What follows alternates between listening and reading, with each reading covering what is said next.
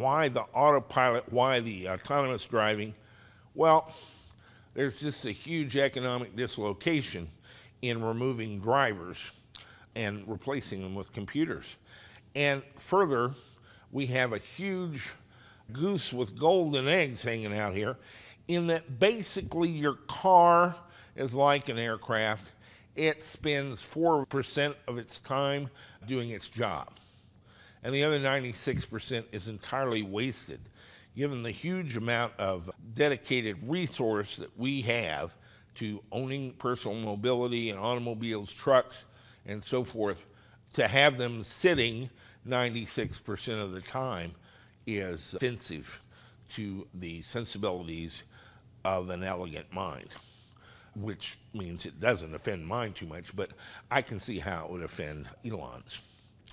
And so, if we can make the cars autonomous, I could have it bring me to work and then send it home and then send it to Kentucky Fried Chicken to pick me up some chicken. So it can be otherwise employed. You could even have three or four families sharing the same car. That's never going to happen, but in theory it could.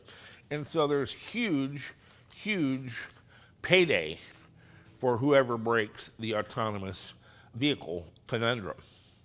I would predict this is going to go through a three to five year violent thrashing with numerous fatalities and will probably be abandoned as unworkable. But keep in mind, I'm the last guy left on the internet who could, in fact, be wrong.